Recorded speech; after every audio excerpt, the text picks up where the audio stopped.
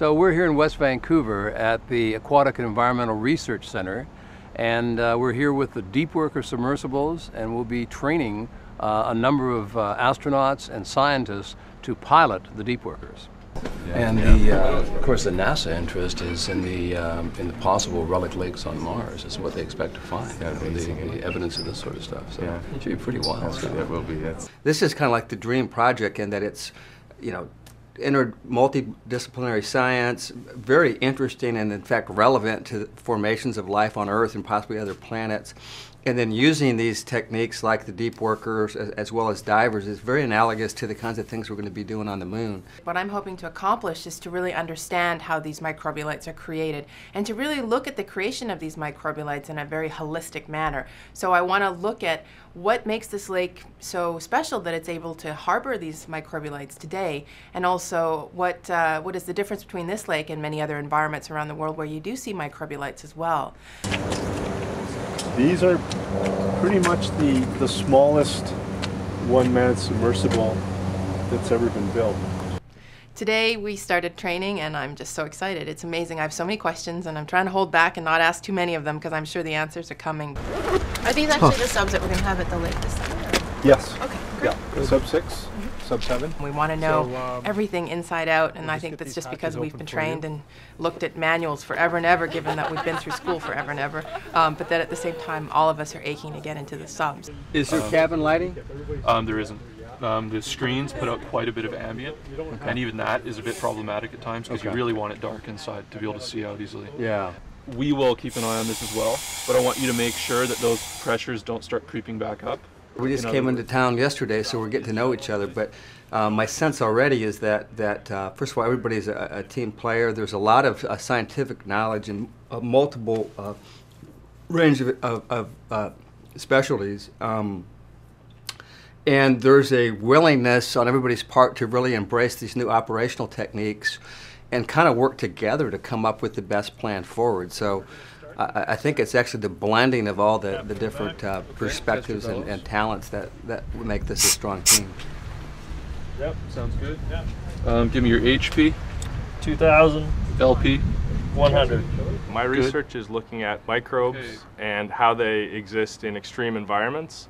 And Pavilion Lake is a very unique extreme environment that we can look at how microbes interact with rocks, in particular in this case the carbonate rock structures of the microbialites. And we want to understand what role biology plays in, in uh, forming these structures and how it might signals of that role might be preserved. Push the, I'm sorry. Yeah, so this one here, uh -huh. just go left and right. Gotcha. So there you go. Okay. That's going to take a lot of practice. Um, you'd be surprised. Really? I mean, it's not. It's not that hard. Okay. All right. I feel like I need to be with it for a little while, and I feel better.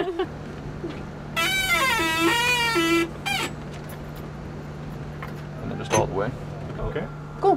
What that Alrighty. means okay. is we're going to have you wind. Right, getting in the sub yesterday for the first time was so exciting. It's going to be great. And you know, we spent quite a few hours just doing our safety checks um, that we'll do prior to each dive. And so we didn't even get in the water yesterday, but it was a lot um, to you know get your head around. But it's really, really exciting. I think all of us just got up this morning, you know, eager to get in the water.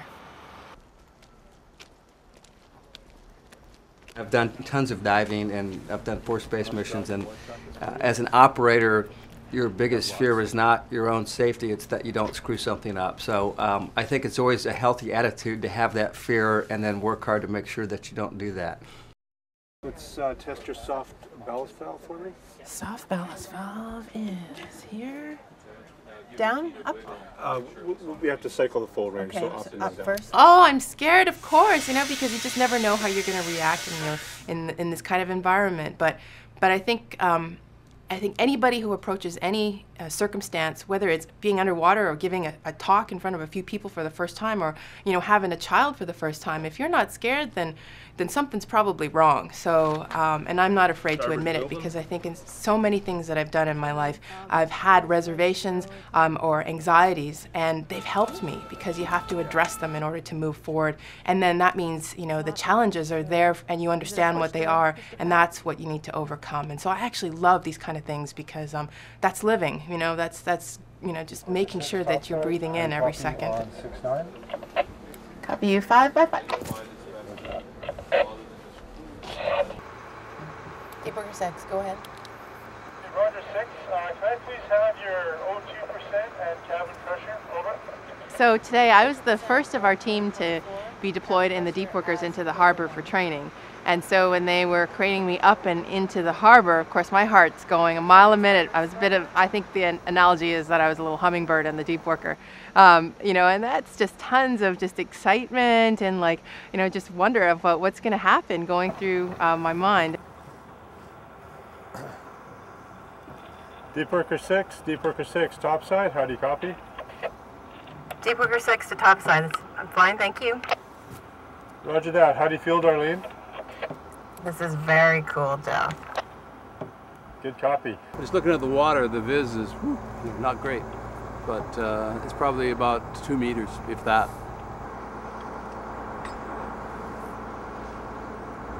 Deep worker six. At this time, you're clear to enable your thrusters.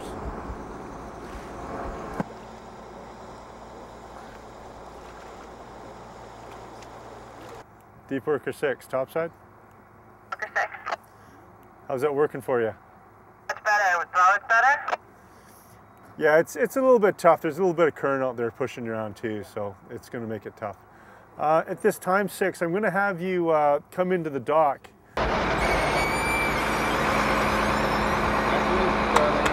hey, That's great.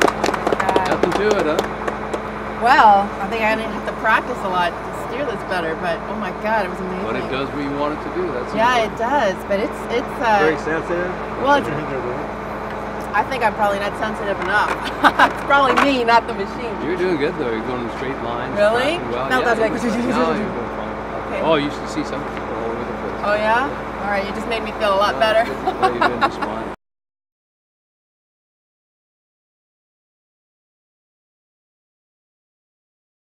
What's up? I was just gonna ask if I could play with my video camera because I'm sitting in front of something cool that I don't know what it is. Over.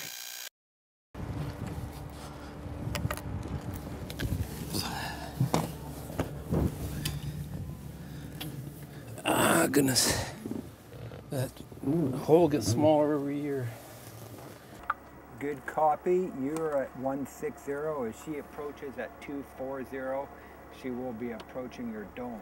Over. Zero, and I'm going to proceed about 10 meters. Give me an all stop. Over. I will give you an all stop in the air. Over. 060. Her heading is 240.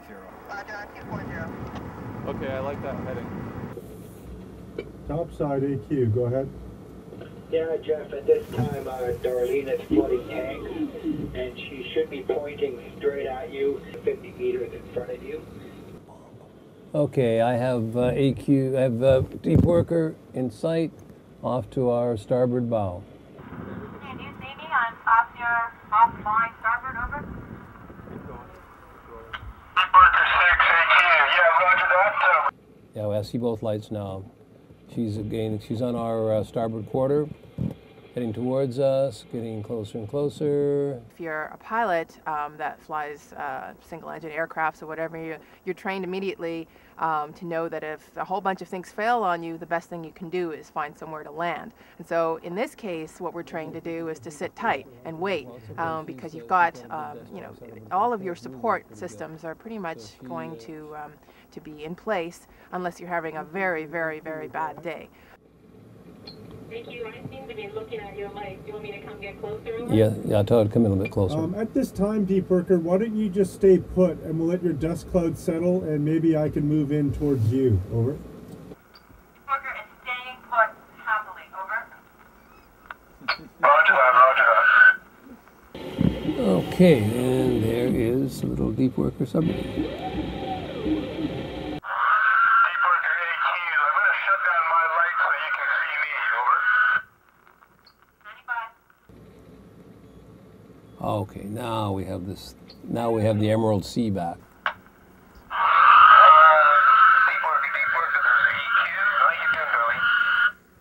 Yeah, we have you uh, in good sight. Pretty, uh, pretty lousy visibility, but what the heck, you look great out there. So, Darlene, tell me, what do you think about the um, what do you think about the, the deep worker? Cougars are really ideal for what we want to do at Pavilion Lake because the lake is basically too deep and too large for us to dive as science divers.